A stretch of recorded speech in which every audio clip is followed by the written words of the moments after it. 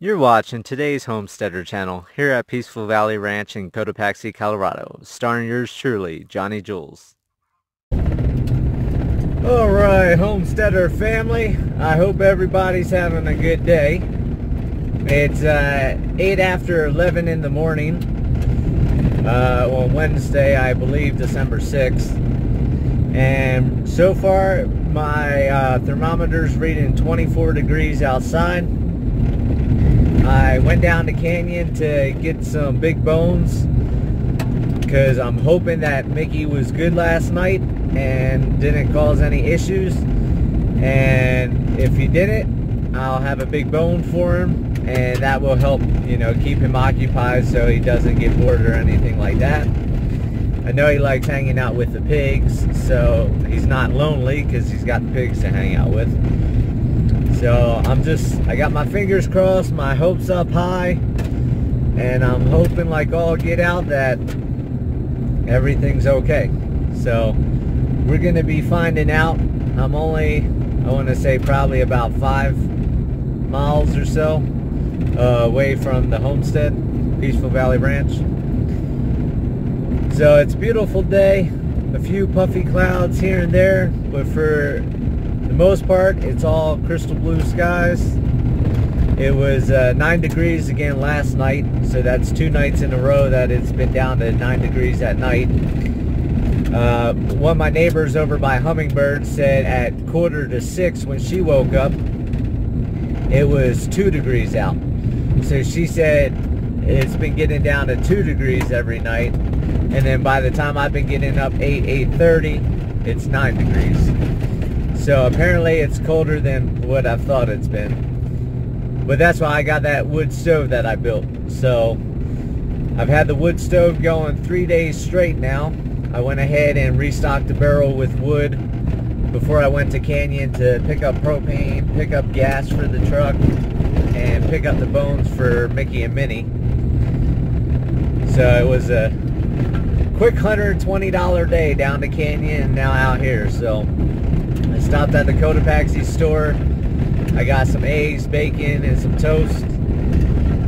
And uh, since I'm going to be coming over here to check on everybody, I'm going to go ahead and spend the day like I normally do when I come over. So I'll be here until probably 3, 4 o'clock in the afternoon. I'll head home and then go ahead start editing this video, get it uploaded to Filmora, and get it uploaded to YouTube, and hopefully get it out uh, later this evening so you guys can see if everything went smoothly or if everything didn't go smoothly. So we're getting ready to find out and I'll tell you taking this drive over here every day or every other day never gets old. The views that I have minus the electric lines that you just saw I mean like that big mountain in front of us I almost said hill, but this ain't hill country over here. This is mountain country. Because uh, it looks like hills on Peaceful Valley Ranch, but the highest one is actually 9,420 or 460 feet in elevation. I don't remember now. It's been a while since I looked at all the charts. But I mean, that's no hill. That's a mountain right now, right there. I mean, over 9,000 feet. That's no longer a hill. So, keep your fingers crossed, everybody. I got Max and Minnie in the back. Of course, you know, Minnie's going to be happy. She'll get to run around a little bit. And then I'll, I'll bring Max out for five, ten minutes. Let him sniff around and take a few more steps because I figure every time I take him out the truck and let him take his five or six steps before he falls down, it helps build his legs up and muscles and we're going to get him up in about, hopefully within another week. He should be walking no problem. And then this information's for Rick, if Rick is watching this. This driveway going up right there to the left is where the guy's building his new house for that address that I sent you uh, for his house being sold. And up here on the left is the property. So part of this down here in the ditch to the left, there's a little horse house with corrals. And then the driveway's right here to the left. Let me see if I can move this. And that's the barn right there. That's for sale. And then the house is up on the hill farther up. So just give you an idea, Rick, of where where it's at and how close you would be. So he's roughly, I want to say, two, two and a half miles from me, somewhere in that range. And then we got this house right here with the white egg sign. They sell eggs. They put a cooler there at the gate to sell chicken eggs for $3 a dozen. And they have signs in uh, a couple spots I've seen advertising the eggs. So I assume that they probably do pretty good on the egg business.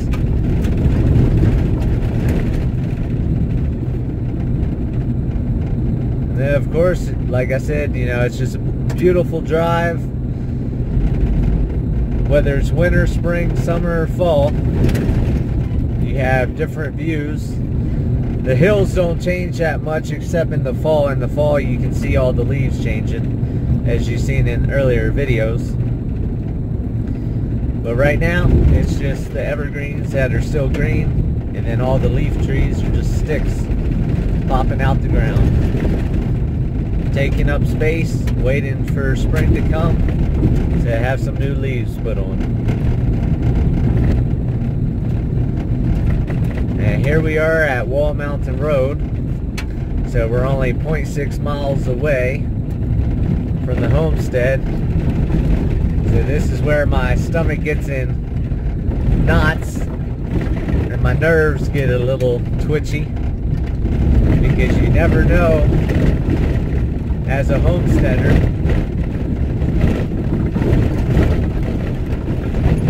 exactly how things are going to turn out. So I could be coming over here to no issues at all, or I could be coming over here to a massacre, or just a slight injury. I have no idea. So the good part is once I get up to this hill up here, I'll be able to look over and see some of the animals and uh, hopefully see a lot of animals moving around because then I know everything should be good but I won't really know until I get up on the property.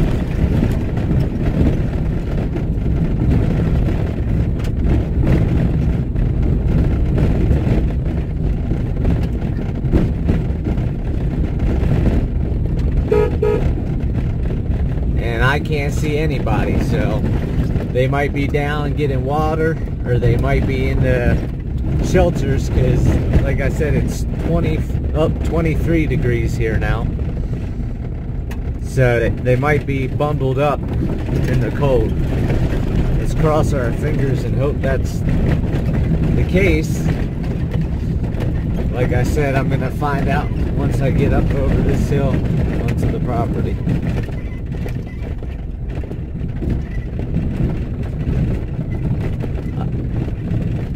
I see some of them.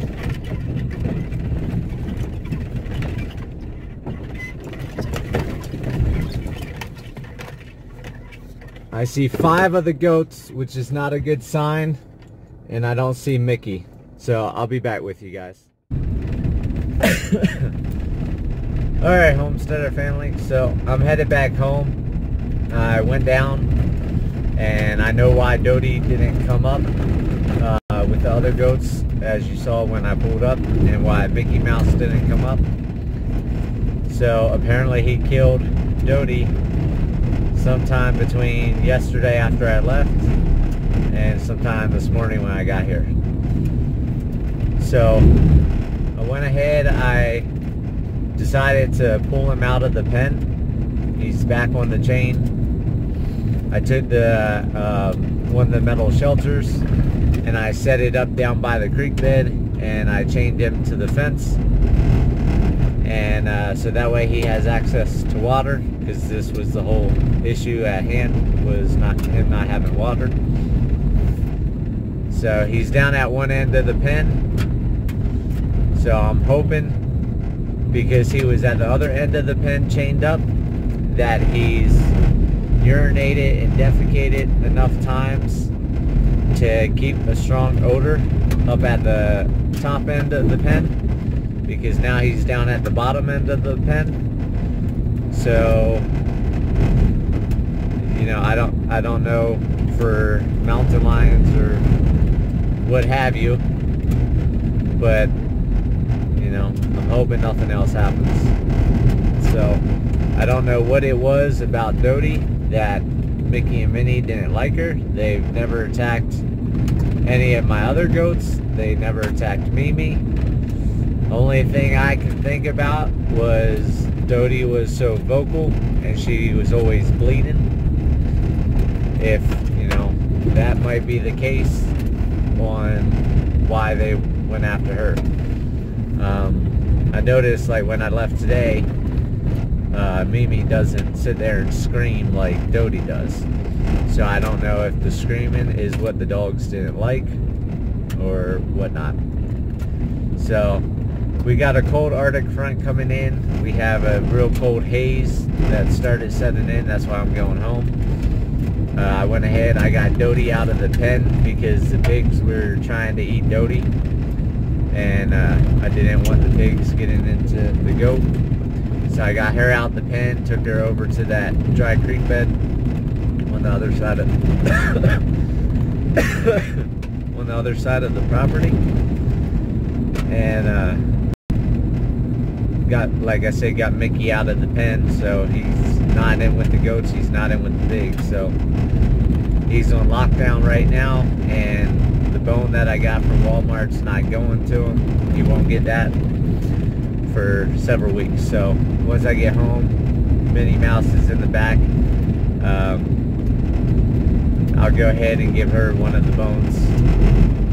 And it looks like, you know, I'm going to have to get Max to get in that pen as soon as possible one as he's small so I don't make the same mistake that I made with Mickey and Minnie if that's the case of me not putting them in soon enough you know I don't know if it's that or like I said if it was because Dodie was so loud and vocal that they didn't like that I don't know so for now Mickey's outside of the pen, chained up on the outside. And uh, that way he has access to the creek so he can have water. And uh, after this video ends, then I'll go ahead and put up a picture of what his setup looks like because I took a snapshot on the way out. So I'm just going to go ahead and lay down and watch some videos or something. So I'll talk to you guys later. I just want to take a moment and say thank you guys for watching my videos, for donating, sharing, and subscribing to the channel. I really appreciate it and it really means a lot to me. And remember, live happy, live free. That's the only way to be.